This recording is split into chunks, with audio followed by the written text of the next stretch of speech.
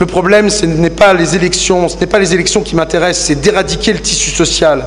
Rien ne sert d'organiser des élections libres et transparentes dans ce pays s'il y a un clan qui, tend à l'extrémisme, des fanatiques qui sont là avec des voiles noirs, des extrémistes purs et simples qui, ont toujours secoué le régime de l'ancien Comté. Leur stratégie, c'était de conduire cette marée humaine pour qu'il y ait un accrochage entre la République et les sympathisants pour que la communauté internationale puisse parler d'un problème de décès. En ce qui concerne M. Moussa Dadis Camara, et les autres aussi, pas un mot pendant ce procès, pas un mot de compassion, pas un mot de désolation sur ce qui s'est passé, sauf peut-être, d'ailleurs il faut bien le noter, de la part de euh, M. Sidiki Diakité d'Itumba. C'est une exception, il faut que je le dise, par honnêteté à l'égard du tribunal. Je n'ai pas entendu. Moi, je crois que pour euh, chacun des accusés, en vérité, mes mots sont inutiles. Le tribunal a parfaitement compris. Et si on regarde bien, il y a un accusé qui n'est pas dans le box. C'est une accusée, l'impunité. C'est l'impunité, Monsieur le Président, qui a causé ces faits. Le Guinéen de la rue, le porteur d'eau et le ministre, ceux qui me disaient à l'époque que l'impunité c'était le problème de la Guinée, l'impunité a causé cela. Rien n'aurait été possible dans cette affaire si ceux qui ont commis ces actes avaient l'idée qu'un jour ils devraient rendre des comptes Qu'un jour on leur dirait Mais pourquoi as-tu fait cela? Pourquoi as-tu violé? Pourquoi as-tu toé Pourquoi as-tu donné cet ordre? Jamais cela ne serait arrivé sans ce sentiment qu'on est au-dessus des lois. Il faut dire que c'est facile quand on prend le pouvoir de se sentir au-dessus des lois. Peut-être que c'est même une circonstance atténuante. Dire bah aucune loi ne s'applique à moi puisque précisément je viens de la mettre par terre la loi. On se sent au-dessus des lois, on matraque, on trucide, on viole, et alors quelles conséquences? Moi, j'ai été marqué par euh, les déclarations, en particulier du, capitaine président euh, Moussa Dadis Camara. 6 octobre 2009 sur France 24, les leaders sont coupables, ce sont des commanditaires, parce que c'était prémédité, le problème, ce n'est pas les élections, ce n'est pas les élections qui m'intéressent, c'est d'éradiquer le tissu social. Rien ne sert d'organiser des élections libres et transparentes dans ce pays s'il y a un clan qui, tend à l'extrémisme, des fanatiques qui sont là avec des voiles noirs, des extrémistes purs et simples qui, ont toujours secoué le régime de l'ancien Comté.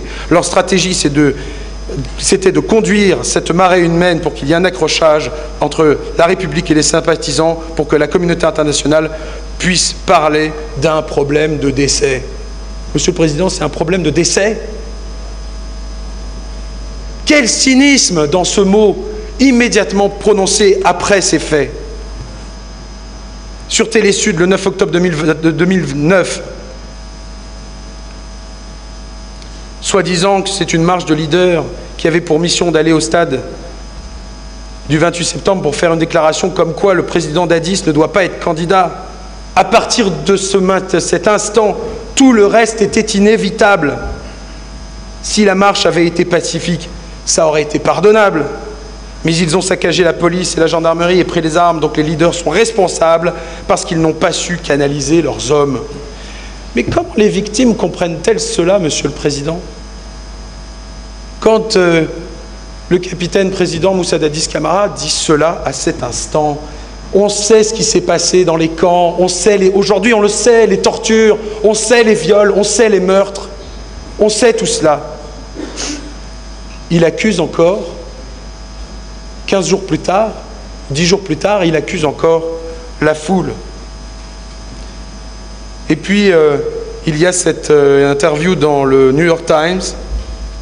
Oui, des gens sont morts au stade, mais ce n'était pas une manifestation pacifique les manifestants ont détruit des postes de police et ont volé des armes. D'accord, les États-Unis vont me faire partir, mais après moi viendront les intégristes, Al-Qaïda et les narcotrafiquants. Un Africain comme moi leur manquera parce qu'il n'y en a pas d'autres comme moi.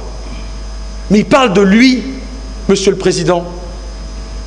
Il parle de lui. Pas un mot, pas un mot pour les victimes. Pas un mot de compassion. Il parle de lui-même, de son avenir, de son mandat, de politique. Pas un mot pour les victimes, pas un mot pour les femmes détruites, pour les familles, pas un mot pour les disparus. Ces gens n'existent pas.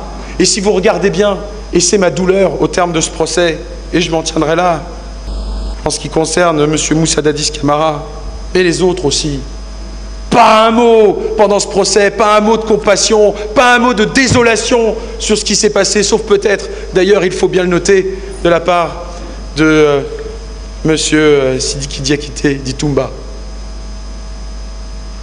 C'est une exception, il faut que je le dise, par honnêteté à l'égard du tribunal. Je n'ai pas entendu le moindre mot de compassion pour ces familles. Ces familles et ces victimes dont on dit aujourd'hui qu'elles mentiraient devant votre tribunal. Ce sont des gens qui auraient un agenda peut-être? Ce sont des gens, Monsieur le Président, messieurs, qui ont tout perdu, tout perdu.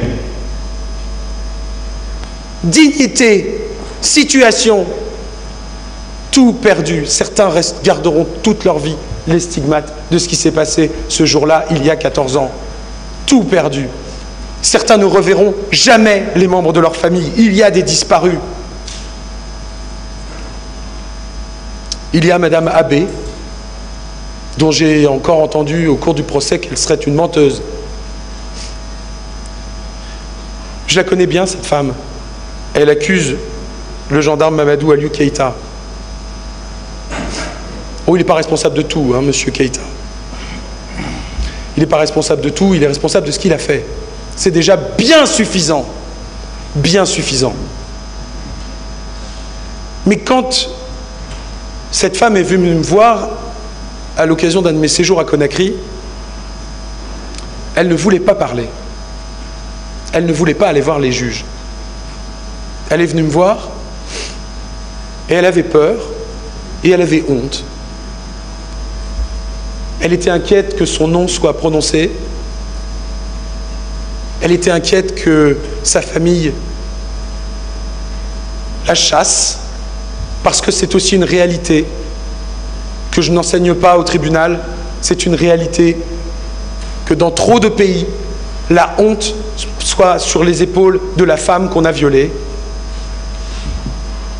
Et elle a choisi de dépasser cette honte.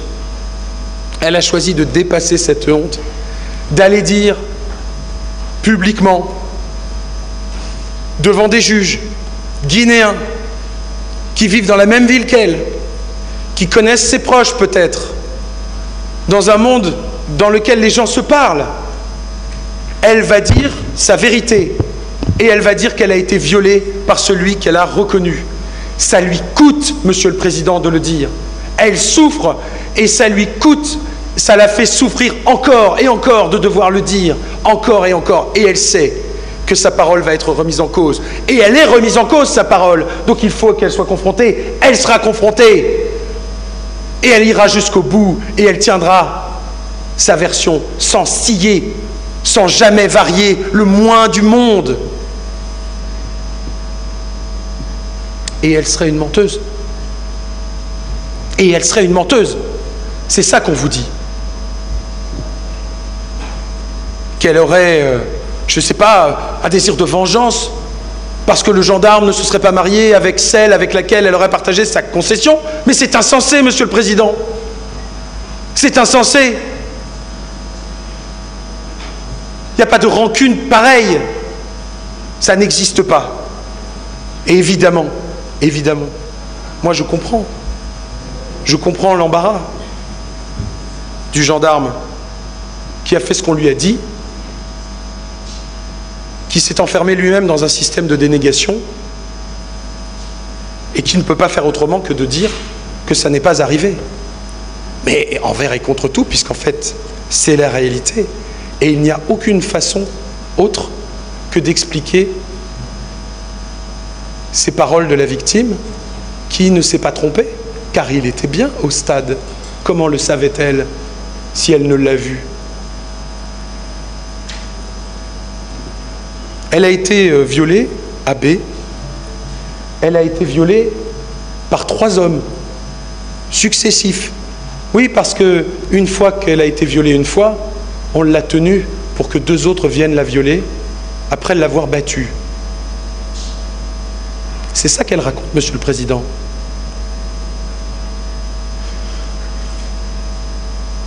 Elle est souillée, cette femme, diront euh, ceux qui vivent dans,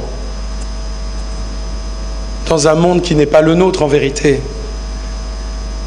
Nous vous demandons, Monsieur le Président, de dire que ces femmes qui ont le courage de venir devant vous pour vous dire la vérité, pour vous dire aussi leur honte, que ces femmes soient entendues. Monsieur le Président, messieurs, cette affaire, ce n'est pas qu'une affaire de violence sexuelle ou euh, de crimes de sang, même de torture. On dit euh, bien sûr que c'est une affaire de crimes contre l'humanité. Et c'est certainement ce qui a justifié la mise en œuvre d'une commission nationale d'enquête pour répondre à la commission internationale d'enquête qui, euh, dans ses conclusions, et c'était anticipé, en est arrivé à dire la simplicité, qui est que cette affaire est une affaire dans laquelle nous voyons une attaque généralisée ou systématique sur une population civile en connaissance de cause. Sur l'attaque, ce que dit la Commission internationale d'enquête, c'est que les actes et violences constatés, de par leur nature, leur envergure et leurs caractéristiques, faisaient tous partie d'un ensemble de comportements qui indiquent une coordination entre les bérets rouges, les gendarmes de Tigboro et les miliciens dans la commission des dix actes. C'est l'attaque. C'est une attaque généralisée. On voit que dans cette affaire, il y a des violences sexuelles, des disparitions forcées, qui sont des éléments euh, essentiels de la caractérisation de ces faits et qui dénotent dans la jurisprudence internationale du caractère généralisé de l'attaque. Quant au point de la systématicité de l'attaque, les tribunaux ad hoc dans leur jurisprudence ont indiqué que cette expression systématique se réfère au caractère organisé des actes et à l'improbabilité que leur survenance ait été le fruit du hasard. Tout ce qui vous a été plaidé, tout ce qui vous sera requis, tout ce qui est dit dans cette affaire, vous dit qu'aussi difficile que soit cette affaire à comprendre, ce n'est pas le fruit du hasard. Ce n'est pas ça a été excellemment plaidé par mon confrère Alpha Amadou Desba, ce n'est pas un viol, ce n'est pas dix viols, ce sont des centaines de viols dont on a connaissance, dont on a connaissance. Pensez à ces femmes qui n'ont pas eu, j'allais dire le courage, mais les pauvres, ce n'est pas une affaire de courage, c'est bien plus que cela, qui n'ont pas voulu dire qu'elles ont été victimes de ces faits. Et puis il faut une population civile. Aucun des éléments de cette affaire ne dit que ceux qui étaient au stade aient été armés en y arrivant. Aucun. Il n'y a pas une seule preuve d'une telle réalité. Ça vous a été dit, ça vous sera peut-être répété. Mais il n'y a aucune autre cible dans cette affaire que des populations civiles.